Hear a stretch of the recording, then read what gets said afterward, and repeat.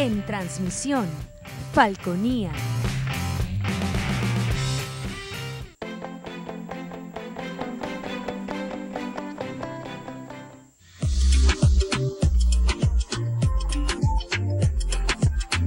Este programa es de tipo informativo y de opinión, que contiene elementos de lenguaje, salud, sexo y violencia A. Puede ser presenciados por niños, niñas y adolescentes sin la supervisión de sus padres, madres, representantes o responsables.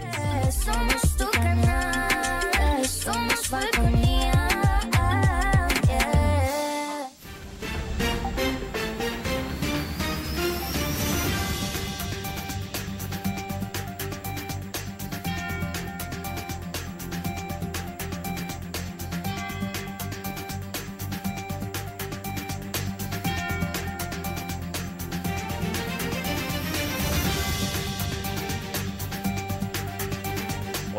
tal? Buenas noches. Bienvenidos a Punto Fijo de Opinión a través de Falconía. Como siempre es un honor estar con ustedes. Gracias por la atención que nos dispensa. Nuestro invitado para esta noche es el amigo Joel Lugo. Joel Lugo es politólogo.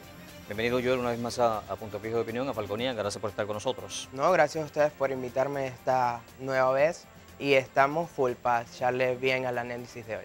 Si, ¿sabes que cuando el presidente Maduro creó la plataforma Patria, él decía que, yo lo escuchaba y decía que eso era lo mejor que había creado el gobierno. Y decía, pero bueno, ¿y qué le pasa a este hombre? ¿Cómo decir que eso es lo mejor? En todo caso, una acción de gobierno se siente cuando los servicios públicos funcionan plenamente, el sistema de salud pública funciona plenamente, la economía fluye, en fin. Dice, ¿por qué este hombre dice esas cosas? Sin embargo, después, eh, haciendo el análisis, eh, el sistema patria constituye una data importante, ¿no? Y que incluso ahí debiéramos estar el 100% de los venezolanos. Lo que pasa es que el gobierno es muy segregacionista, muy sectario, y entonces no todo el mundo se ha, inscrito allí en el, en el sistema patria, pero allí debiéramos estar todos. Ejemplo, con el caso de la, de la, COVID, del COVID, el gobierno se basó mucho en eso para las eh, distintas encuestas de si te habías vacunado o no. Me parece un mecanismo bastante, bastante importante, ¿no? como que un salto hacia adelante que, que dio el gobierno. Ahora, no sé si detrás de ello hay alguna intención política, politiquera, no lo sé. Lo cierto del caso es que me parece un, un- un mecanismo eh, muy inteligente de parte del gobierno. No sé si lo aprovechan como debieran ser, y especialmente para el beneficio de los ciudadanos. Cuando crean el, Petro, esta criptomoneda, también me pareció una buena idea. No se ha desarrollado como, como, como ha, debido, ha debido desarrollarse, cre- creo yo. Eh, cuando se hablaba del Bolívar digital, me pareció una muy buena idea también, porque eso se está implementando en varios países en Europa, en fin, porque todo va hacia, hacia lo digital. Y ahora, después de, en el marco del quinto congreso del Partido Socialista Unido de Venezuela, se implementó el 1 por 10 buen gobierno, que me explicaba el pasado viernes en el programa de radio el amigo Jesús, Jesús León, quien es el coordinador regional de, de organización del PSV, que no es más que un sistema para que la gente haga denuncias allí de, las- de las distintas cuestiones. Eh, se enfrascaron en tres, se enfocaron en tres aspectos de servicios públicos, pero es para, para, para que la gente haga sus denuncias a través. Incluso me dice que me dijo León, Jesús León, que no importara que no fuera PSUvista, que no fuera chavista. Ayer el primer titular, el titular más importante de Últimas Noticias, publicaba que el 60% de las denuncias hechas a través del 1 por 10 buen gobierno eh, manifiestan que la principal problemática en Venezuela es el agua en el, en el país. ¿no? Me parecen mecanismos importantes. eh, o sea, usar las nuevas tecnologías para ese tipo de cosas me parece importante. Ahora bien, ¿el gobierno realmente les está aprovechando para favorecer a la ciudadanía? ¿Qué O es una táctica. Ajá, ¿qué intención tiene el gobierno? Mira, eh, hay algo que normalmente ya se ha venido hablando desde hace unos años en el ámbito político internacional de la administración pública y es algo que se conoce como el gobierno abierto. El gobierno abierto es una doctrina política en la cual los ciudadanos tienen acceso tanto a la- al, a la- al funcionamiento y a las prácticas que tiene el gobierno para poder ser vigilante de lo que está pasando en su administración. También es bueno en la parte de la innovación política. Vemos también cómo en otros países muy cercanos a nosotros, como es Uruguay, va a invertir más de 100 mil millones de dólares por crear una ciudad inteligente, en donde hasta los semáforos, los sistemas públicos, o sea, todo va a estar digitalizado y va a ser más cercano a la población. Ahora, como tú mismo lo decías, puede ser algo bueno para el ciudadano o puede ser una táctica de gobierno que está en campaña.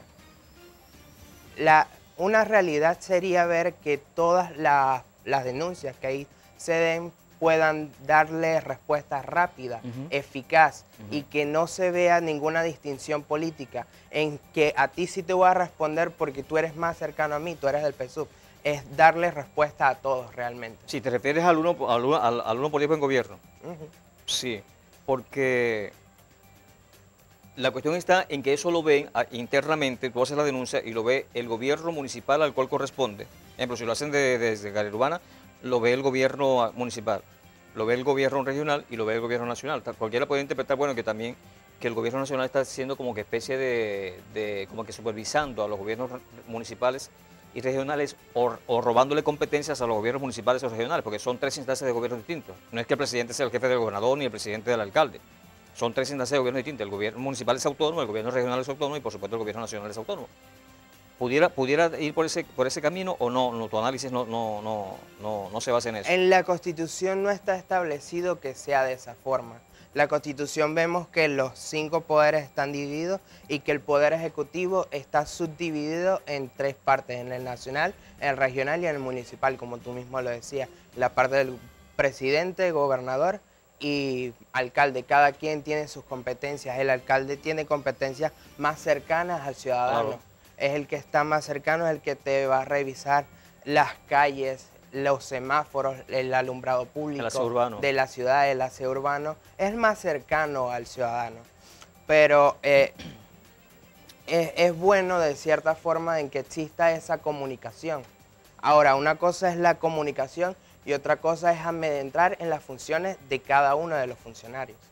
Sí, tú hablabas de gobierno abierto, pero ¿realmente en Venezuela hay un gobierno abierto? no, con- en con- Venezuela con no hay un gobierno abierto.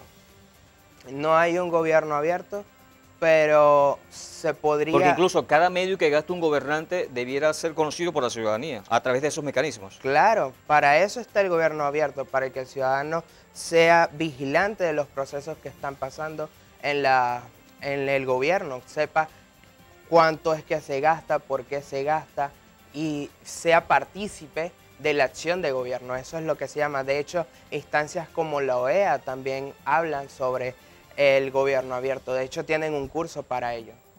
Sí, pero esta cuestión del del 1 por 10 buen gobierno también pudiera significar un arma de doble filo, porque tal vez haya algunos dirigentes o militantes del PSV que porque para que el alcalde no me vea mal, o el gobernador no me vea mal, o el partido no me vea mal, no hago la denuncia de lo que está pasando en mi comunidad.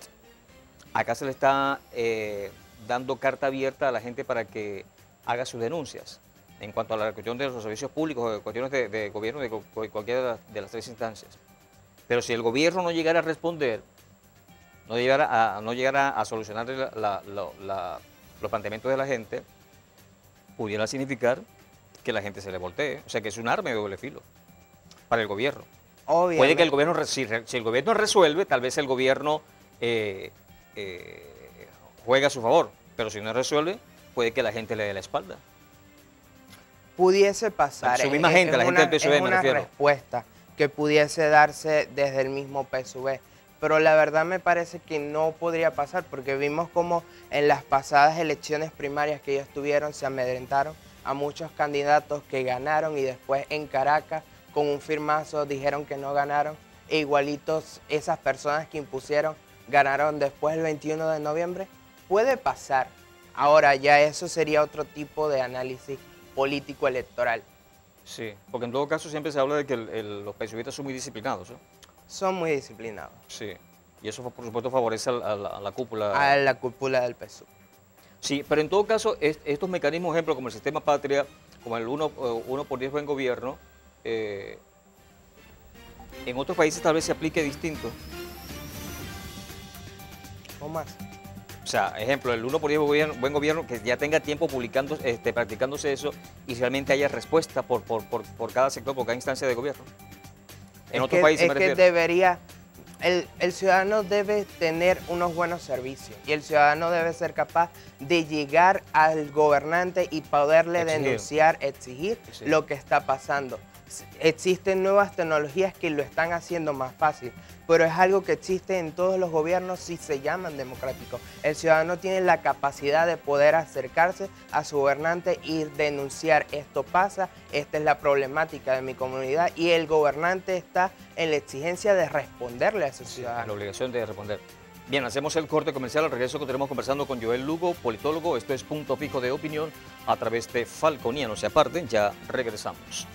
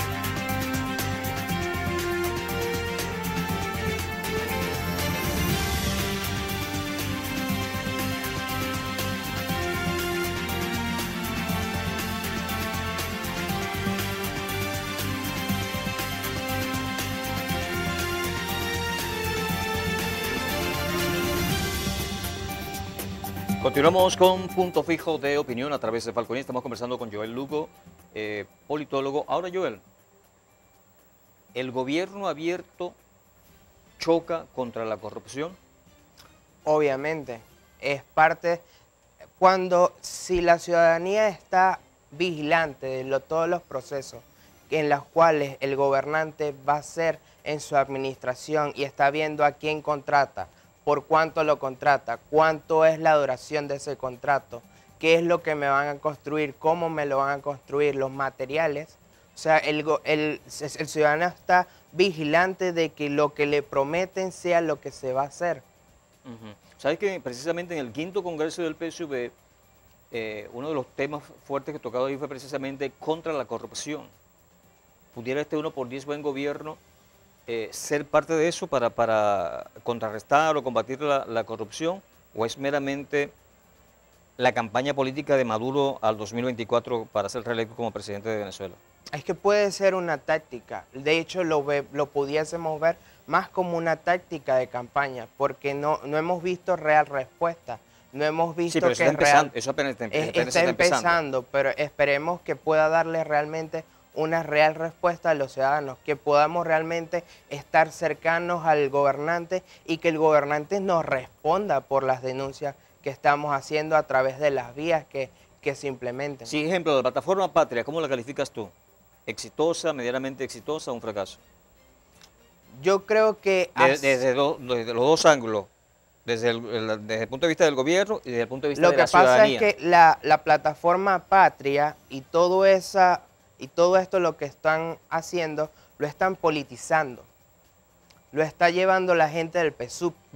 No, no, no es abierto, no es Sí, abierto a la to- a toda la ciudadanía. ciudadanía.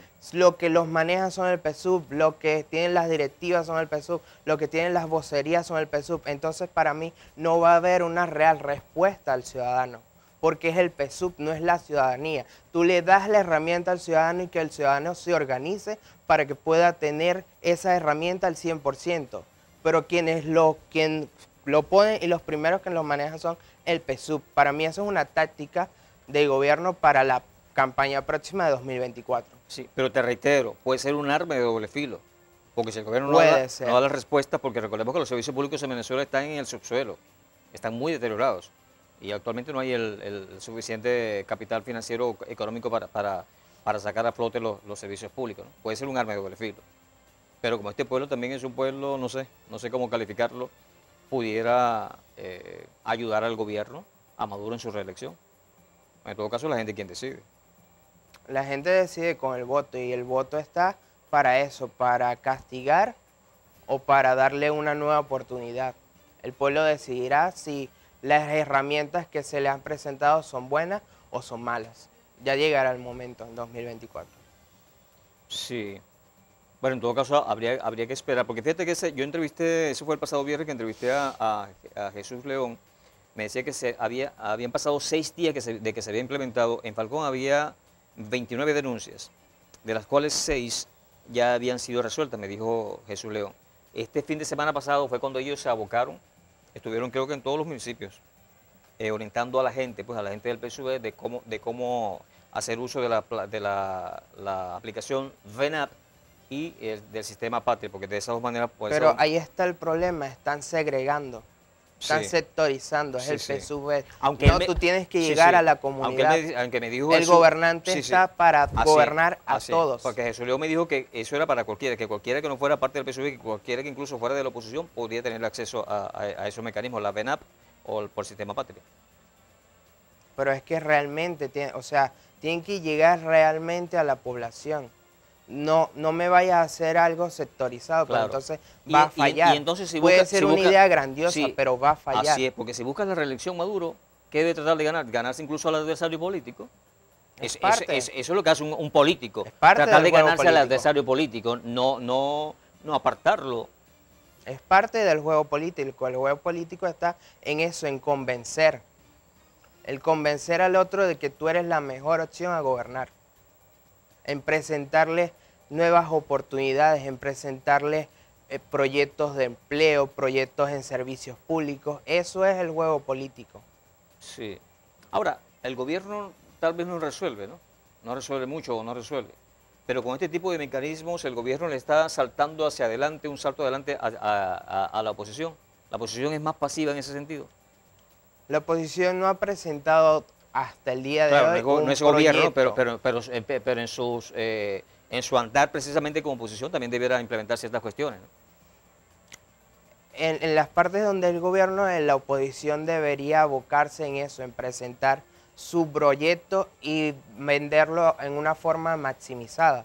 En si yo soy capaz de hacer esto aquí en este municipio, en esta gobernación, mi, imagínense lo que puedo hacer gobernando el país. Eso es lo que debería hacer también la Pero la oposición. oposición, por ejemplo, la oposición nacional o regional, oposición como oposición como tal, sin que sin incluir a ningún gobierno o municipal o regional. La oposición también debe- debería implementar ciertos mecanismos de, de esta manera que, arropen, si posible, a, a- a toda la ciudadanía. Me, me refiero a la cuestión de, de usar las nuevas tecnologías, a eso me refiero. Obviamente, para eso están, pero es que la, la oposición pues, utiliza las nuevas tecnologías es para presentarse como una opción. Porque, lo, porque se llama oposición por eso, porque no está en gobierno, no puede tomar datos de la administración y hacer que algo cambie, porque está en oposición, no eres parte de la administración del gobierno. Sí. Entonces ellos lo que tienen que utilizar son las nuevas herramientas comunicativas como las redes sociales, los, podcasts, YouTube, todo eso, y para que pueda llegar a más personas y sepan cómo serían ellos, cuál sería su propuesta para ellos gobernar el país, el municipio, el, estado. Sí. Pero es interesante, yo siempre recalco eso que es inter- interesante. Yo tengo una, un amigo que es publicista y tiene muy buenas ideas, pero con sus acciones las achica, las empequeñece. Da la impresión de que el gobierno fuera así, no, que tiene muy buenas ideas. Eso lo del sistema patria me parece grandioso. Lo del de Petro a mí me parece grandioso. Lo cuando se habla del, del Bolívar digital me parece grandioso. Y este uno por 10 buen gobierno, aunque no entiendo el 1 por 10, no sé si es que cuando yo eh, me inscribo allí y los 10 me secundan, no entiendo cuál es, cuál es el objetivo de los, del 1 por 10, ¿no? Si es que los 10 me secundan en mi denuncia, no, no no entiendo ese aspecto. Pero me parecen mecanismos eh, eh, exitosos, entre comillas. Claro, falta que las acciones sean realmente contundentes para, para, que, para que genere el éxito, ¿no? Es que hay que ir innovando, la, la sociedad tiene que ir a ras de la tecnología. Así es. La tecnología va avanzando y nosotros como venezolanos tenemos el derecho de también ir a punte con la tecnología.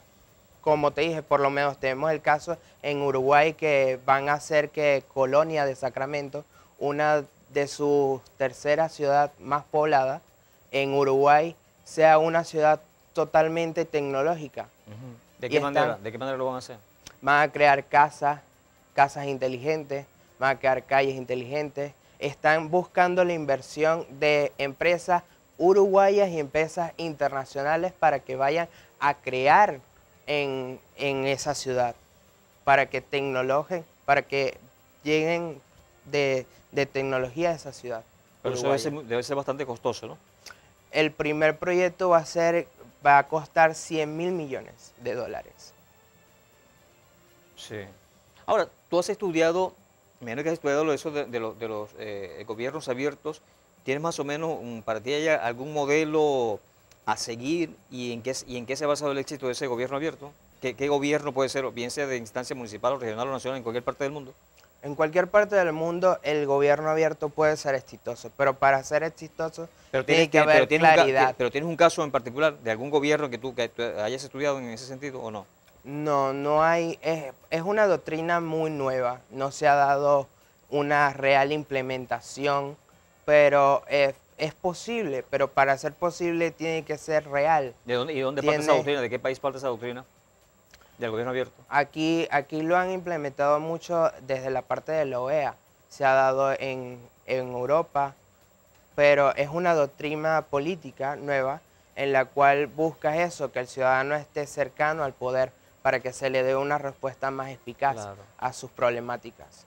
Sí. Ahora, este 1 por 10 eh, buen gobierno también e- está en contra, o sea, viene a contrarrestar la burocracia o por el contrario pudiera eh, incrementar la burocracia, porque también de repente pueden llover, puede haber miles o cientos de miles o incluso millones de denuncias y si no se da solución estamos eh, en presencia de, de, de- un La idea fundamental debería ser eliminar, eliminar la burocracia. La Claro. burocracia es otra, es otra problemática que atenta con la cotidianidad del ciudadano, con sus problemas, para que sean resueltos. Es por eso que te digo que el, el gobierno abierto está dado para eso, para que esté, el ciudadano esté más pendiente Claro. y esté más fuerte en, los, en las problemáticas y en las soluciones que se le van a dar Porque me imagino a que la con el comunidad. gobierno abierto, cuando tú necesites una permisología, un permiso de funcionamiento, ah, alguna constancia, en fin, lo- todo será en línea y tú no tengas que ir ante una persona mal encarada en una oficina, ¿no? que todo sea vía online y, y todo sea rápido. sin- el sin- gobierno sin abierto está, es, es la idea. Las tecnologías son las nuevas formas de adecuar esas ideas. El 1 por 10 del, del buen gobierno es una forma... El gobierno abierto nace a raíz de las nuevas tecnologías. No, O sea, obligatoriamente tiene que ser con, con- con- con- con tecnologías de, de punta o no. no. Las, los gobiernos abiertos no necesariamente porque en un pueblo, aquí en el pueblo de Pueblo Nuevo, ahí en- el municipio Falcón puede haber un gobierno abierto, en el cual la ciudadanía atienda al, al- al señor alcalde y le sepan decir cuáles las problemáticas y el señor alcalde dé una respuesta que sea más abierta y que todo el ciudadano esté en el proceso para solucionar esas problemáticas, qué es lo que se va a hacer, a qué empresa van a contratar, por cuánto tiempo se va a contratar, quiénes, lo, quiénes van a, con- a resolver esos problemas. Eso es parte del gobierno abierto. El gobierno abierto se adecua a las nuevas tecnologías que son la- lo- las redes sociales, las aplicaciones. Es una forma de darle más cabida. Ahora, el uno político en gobierno también, también pudiera constituirse en oposición por parte del gobierno nacional, por parte del chavismo, hacia los gobiernos locales o regionales que no son de su tendencia. También pudiera servir como oposición. Claro, obviamente. Pero podría también robar competencia, yo repito en eso, pues de repente hay una competencia del alcalde, por ejemplo, el municipio de Falcón, que es uno de los municipios más pobres de Venezuela, aunque Pero es que algunos alcaldes se pueden bravos conmigo por eso. los que van a dar respuesta es la autoridad y los ciudadanos. Ahí no puede haber un tercero inmiscuyéndose. Eso en el buen gobierno. En el, el el- gobierno el abierto. gobierno abierto. Ok, pero en el la idea es que, Sí, sí. o sea, la idea es que el gobernante de esa entidad, junto a los ciudadanos de esa entidad, pueda darles respuesta eficaz y rápida ajá. a las problemáticas. El No uno- es que alguien tercero de otra parte diga, no, yo que soy de esta entidad o soy una entidad más mayor, voy a responder lo que está Ajá, y tú no, y sucediendo tú no aquí. crees que el chavismo puede hacer eso. Ejemplo, uno por 10, eh, uno por 10 buen gobierno. Ejemplo, municipio de Falcón, el alcalde es, eh, no es chavista.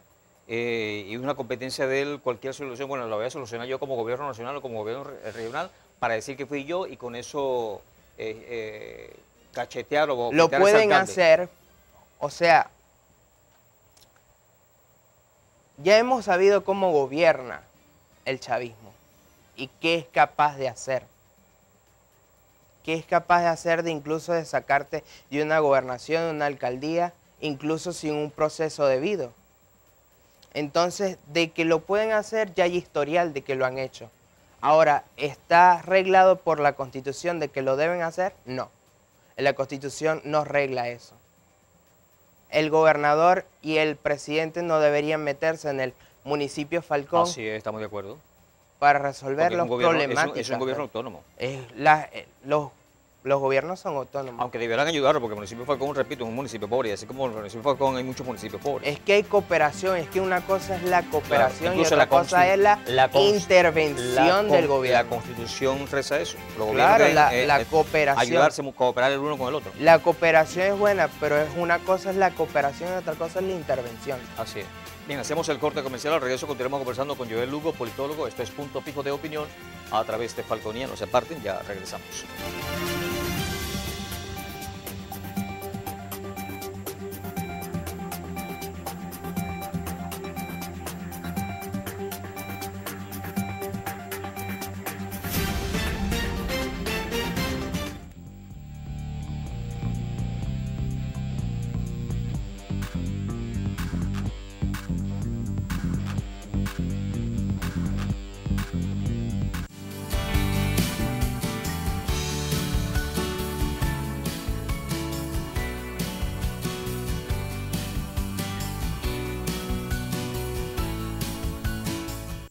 Pensamos en Miami como un lugar de gente rica, pero a 8 kilómetros de la playa hay personas que nunca vieron la playa. Yo no entendía cómo alguien vivía en esas condiciones en este país.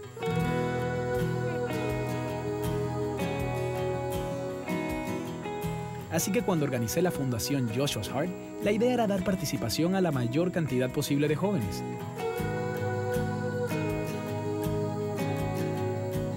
Pienso que pasar la antorcha y encender una nueva llama de caridad en otra persona es quizá mi misión más importante.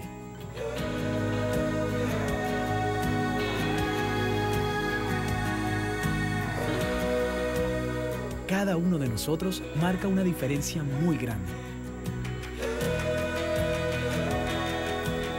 De eso se trata, de contribuir y fomentar la caridad en bien de todos. La caridad está en ti. Averigua más en unavidamejor.org.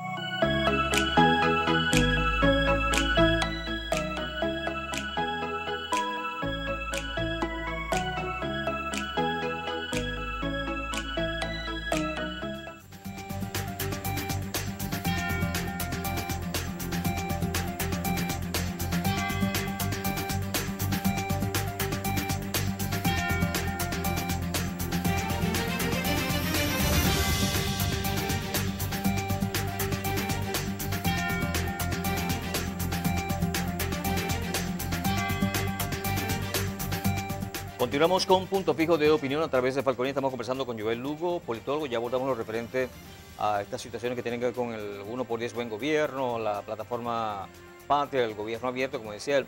Pero hay otro tema que me gustaría conversar contigo. En estos días, el primer vicepresidente eh, y jefe supremo del PSV, Diosdado Cabello, eh, creo que hubo problemas con algunos colombianos para que votaran en la elección presidencial acá en Venezuela y él decía que si los colombianos aquí en Venezuela no votaban, no era culpa del gobierno venezolano, sino culpa del gobierno eh, colombiano que no, que no adecuó la, la- la- situación. Pues. Recuerdo que hace unos años atrás, en una elección presidencial, le pusieron obstáculos a los venezolanos que estaban en los Estados Unidos, los mandaron a votar en una sola ciudad, en un solo estado, de, de varias partes de Estados Unidos tenían que acudir a eso, o sea, poniendo trabas para que esos venezolanos votaran, iban a votar por supuesto en contra de- de- del presidente Chávez en ese entonces. Y mi pregunta es, hoy en día se dice que hay más de 6 millones de venezolanos en el, en, en- el exterior. Días conversaba acá con Goyo Graterol, pero me decía entonces no que la mayoría están ilegales. Incluso un compañero de él que andaba de su partido, que ya lo, hablamos fuera de cámara, me decía que no, que ni el 10% están legales. Ayer leí la información de que el gobierno colombiano, eh, Duque, legalizó a un millón de venezolanos en Colombia y que van, y van rumbo a legalizar a dos millones de, de, colombian- de venezolanos en Colombia. Dos millones, si son dos millones de votos, para la oposición no son nada de especial dos millones de votos, nada más en Colombia. Entonces a veces como que no entiendo, me decían no, que, que hay que estar eh, pendiente porque la mayoría están, están ilegales. No entiendo. Pero es que la- no tiene que ver con la ilegalidad, porque eso es no, pero el- que- el proceso de la el- ilegalidad, que no está, le- el que no está legal no puede votar en- no, el fuera del país. No, el, es que es distinto. El proceso de la ilegalidad, de los procesos de ilegales sin documentos en otro país, que te autorice a residir en otro país, eso es distinto. Tú como venezolano, tú puedes ir a una embajada, a un consulado y decirle, mira, yo ahora resido aquí. Yo ahora resido en Colombia, yo ahora resido en Miami. Pero si estás, si estás ilegalmente, no puedes, es lo que me decían ellos, no puedes, no puedes, no, no he estudiado la ley en ese sentido porque no puedes votar. Si estás en Colombia ilegal o en cualquier parte, no, no puedes votar. Solamente votan los que están de manera legal en esos países. los que tienen residencia legal en, en los países. Eh, o sea, si tú estás en Colombia y es- tienes la o sea, y ya tienes una residencia permanente que le avale al consulado de Venezuela en Colombia que tú resides en tal estado de ese país, en tal departamento de ese país, en los cuales es el- es el número de venezolanos que va a votar en Colombia. Ok, pero lo que yo no entiendo es por qué hay esa, esa como que repulsión hacia que no, no, no nos metamos en eso. Oye, si hay 6 millones de venezolanos fuera del país, y ponle, en el caso de Colombia, si hay dos si legalizan 2 millones, caramba, 2 millones de votos no son nada. Ponle que hay un millón pues, de votos. ¿Son despreciables un millón de votos para la No, oposición? en otro cada, cada voto importa y todos los votos de los venezolanos deben ser contados.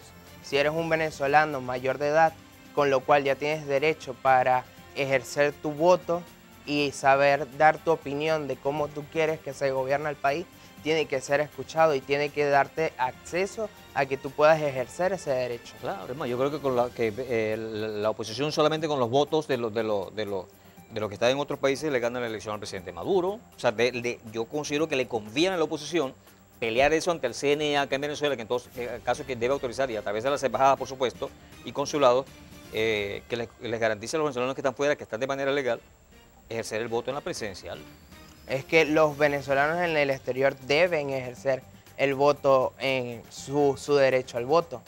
Lo que pasa es que ah, también existe una problemática con la que con la situación país que nosotros tenemos, que tenemos ciertos países que dicen que no reconocen a Maduro, hay otros países que dicen que reconocen a Juan Guaidó Pero como ya- pero yo creo que eso- presidente. pero yo creo que eso se. Aquí hace tiempo, hace poco tuvimos aquí una delegación de, la- de alto gobierno de, de, de Biden, de Estados Unidos, conversando con el presidente Maduro. Sí, pero lo que te digo es que cuando, sí, si el venezolano en el exterior no tiene eh, una embajada, un consulado al cual A eso, me requerir, refiero, a eso me refiero, a eso me refiero, Esa- que la, es la oposición aquí en Venezuela tiene que pelear por eso, a eso me refiero. O sea, no tienes que, no, porque la mayoría están ilegales, oye, tienes que pelear eso, porque si, en, si en Colombia nada más legalizaron un millón y están por legalizar dos millones, ¿me vas a decir que esos dos millones o un millón de votos son despreciables? No son despreciables. no son despreciables. Los- todos los venezolanos somos venezolanos de primera, no hay venezolanos ni de primera ni de segunda. Todos los venezolanos tenemos el derecho porque me parece- de ejercer me parece el que- voto me- me presidencial, que estemos adentro Sí, o afuera. Me parece de que la oposición, si van con, en, ese rumbo, está metiendo la pata otra vez. Como, la meti- como está cansado de meter. Ya la oposición está cansada de meter la pata. Por eso es que Maduro y el chavismo le ganan las elecciones por meter la pata. O sea, si vas a despreciar esos votos, no sé con quién. No entiendo, no entiendo la, la intención. Maduro le puede ganar la elección. Porque Maduro va a ser el candidato en el 2024 del chavismo. Y no solo eso, sino que si sigues en división y si sigues que sin darle poder dar una respuesta única y necesaria para el país, de decirles esta es la vía y esto es nuestro mensaje, si, si la oposición no puede dar ese mensaje y si siguen con las diatribas adentro de decir que alguien es menos opositor que Sí. otro o si uno es más digno de llamarse opositor que otro, posiblemente la Alianza Democrática lance otro candidato, la Incluso así- plataforma unitaria Bri- lance otro Bri- candidato Brito lo dijo, y Brito gane Nicolás Brito Maduro. lo dijo, que yo no se mediría en, una- en unas primarias con, con- con- con- la plataforma unitaria. Lo dijo Brito de la Alianza Democrática. Es necesario Y que, hay, y hay algunos que los y hay- factores y de la y oposición algunos se unan. Si la- de la- realmente quieren ser una opción, tienen Sí. que unirse. Hay algunos de la plataforma unitaria que están con ese discurso radical. No, ellos no. Ellos son a la carne, si no pueden participar en esto. Entonces, mientras estén en, es- en eso, le están haciendo juego al gobierno. Maduro los chavistas están súper contentos. Al gobierno le conviene. si Claro. nosotros estamos divididos, ellos pasan por el Así medio es, rápido. así es. Así es. Entonces, la, la oposición tiene que acabar con esas diatribas de decir que uno es más digno que otro de llamarse oposición. Es ser estratega, Claro. es ser maduro y es presentarle al- a la sociedad una opción creíble de gobierno y de que podemos cambiar esta Y la realidad. plataforma unitaria tiene que entender que, es- que en la Alianza Democrática hay votos.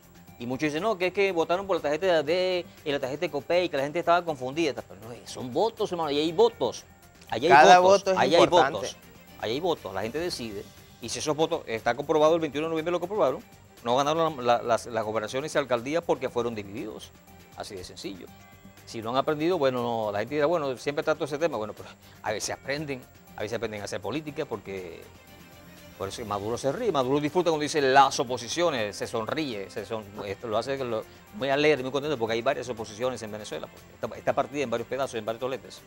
Es que la oposición debe entender de que es normal pensar distinto desde un mismo grupo, pero tienen que ir por una sola vía en contra de Maduro. Tienen que saber amalgamar esa fuerza en una sola vía. Sí. Si se divide en varias vías, Maduro pasa por el medio Sí. riéndose. Y sabes que el, el- el- el éxito del chavismo siempre ha sido un solo discurso, un mismo discurso. Y hablábamos temprano, hace rato de, de la disciplina que hay dentro de los PSUvistas. Los chavistas son muy disciplinados. Pueden estar este, con ganas de, de caerse a, a golpes, pero a lo externo no sale. Eso no sale. Y se muestran siempre eh, compactos, unidos. La comunicación política es muy fuerte para la campaña. Es uno de los ítems más importantes de un político, de una coalición.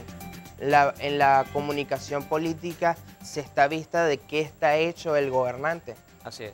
Entonces, si tú eres muy de aquí y de allá y de emociones y menos racional, no vas a ser creíble para la sociedad. Así bien, hacemos el corte comercial, al regreso continuamos conversando con Joel Lugo, politólogo, esto es Punto Pico de Opinión a través de Falconianos. Aparte, ya regresamos.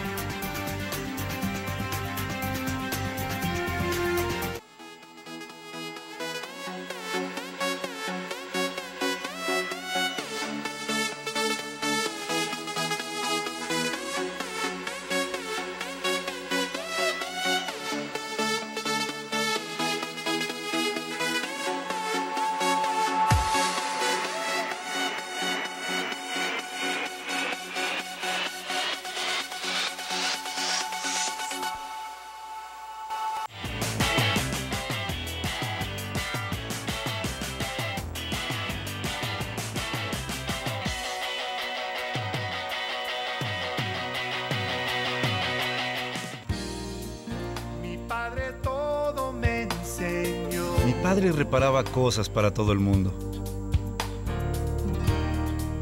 Era un ejemplo para mí. ¿Y yo?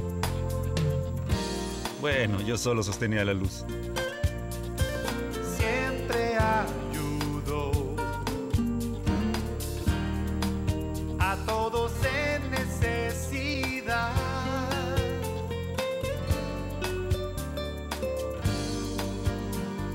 Través de los años, reparamos cosas de amigos y de algunos desconocidos también. Me estaba enseñando algo más que a reparar cosas.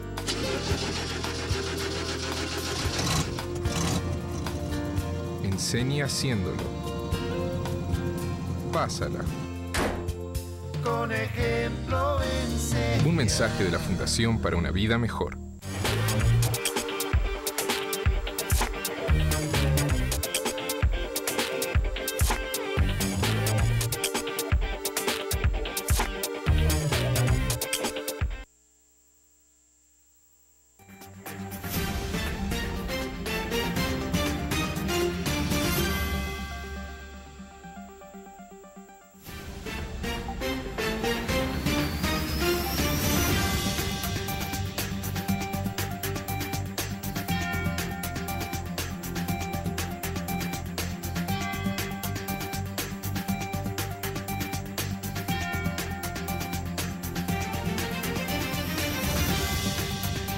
Continuamos con Punto Fijo de Opinión a través de Falconía. Ya este es nuestro último segmento. Estamos conversando con Joel Lugo, él es politólogo. Ahora, hablabas de la comunicación política, que es de capital importancia para todo político estamos de acuerdo. Un político que no haga uso de los medios de comunicación social es un fracasado. O sea, si yo soy concejal y yo no voy a los programas de radio, de televisión o no salgo con una noticia, estoy perdiendo el tiempo. Eh, ahora bien, la comunicación política del gobierno ha sido efectiva. Ejemplo, las cadenas de radio y televisión, los mensajes del gobierno han sido, han sido uh, positivas, la comunicación política del, del- gobierno. La comunicación política del gobierno ha sido efectiva tanto política como del gobierno. Como política, han sabido amalgamar a su partido y han sabido hacerlo en una sola fuerza y han sabido decirle cuál es la comunicación, cuál es el discurso que nosotros como chavistas vamos a llevar. Eso es lo que, en cómo es eh, la comunicación del PSV ha funcionado. Y, la ta- y también, disculpe, también han resaltado los, los errores de la oposición en su comunicación política. En la comunicación política. Ajá. Porque se dicen unitarios, se dicen que van con una sola vía, pero tenemos varias voces hablando de aquí a allá. Es normal tener varias discrepancias con tu compañero de al lado. Es normal. Somos democráticos y somos personas, podemos pensar distinto. Pero es necesario que si vamos en coalición, en coalición o en una sola fórmula, tengamos previsto de que debemos enseñarlo al pueblo de que somos coherentes, de que sabemos lo que hablamos y de que qué es lo que vamos a presentarle al país. Una comunicación política efectiva es aquella en la cual el ciudadano simplemente con oírte está seguro de para dónde tú vas. Así no sea creíble el personaje que lo está diciendo. Ejemplo, te pongo yo. Si yo- no es creíble- Yo escucho, yo escucho a, a Manuel López Obrador, el presidente mexicano, que es un hombre de izquierda. Yo no soy de izquierda. ¿no? Y aparentemente es un hombre de izquierda radical, pero considero que López Obrador es un hombre de, de- de izquierda moderada. Pero cuando yo lo escucho, su discurso para mí es creíble, para mí. Es creíble. O sea, me da la impresión de que él tiene solvencia moral para decir lo que está haciendo. Y su discurso me parece creíble, aunque yo no soy, parte aunque yo no soy, yo no soy de izquierda. es parte de la comunicación política, no hay nada malo en eso. Eso quiere decir que es un buen orador, un buen comunicador, y es lo que lo ha llevado a la presidencia del país. Esos son factores del codo político efectivo y exitoso debe tener. Para poder lograr tus objetivos políticos debe tener una buena comunicación Así es. política. Ajá, y en cuanto a la comunicación política por parte de la oposición, ¿cómo la calificas? ¿Qué análisis haces? ha, ha venido fracasando. Es una comunicación que se ve muy a declive. Han, han habido procesos en los cuales por lo menos hace poco lanzaron la plataforma unitaria de la oposición, se llama Puede, y están llamando a conformar nuevos grupos. Llamaron a la Alianza del Lápiz, a Fuerza Vecinal, a que se integren con ellos, al igual de 20, Y es una, es una forma de poder amalgamar las voces, saberse escuchar entre ellos para poder presentarle a la sociedad. ¿Pero crees que será creíble. posible eso? ¿Será posible? Eso tiene que ver con los, los intereses que existan en cada uno de ellos y que si realmente quieren presentarle una voz única la- al país.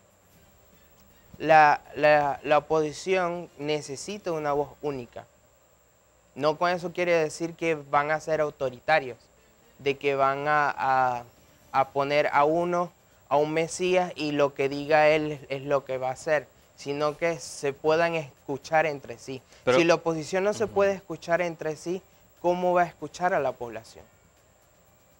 No es creíble, por eso es que han tenido los resultados. Pero tú no crees que en lugar de, de una, de una vocería única debiera ser un discurso único, como es el caso del chavismo?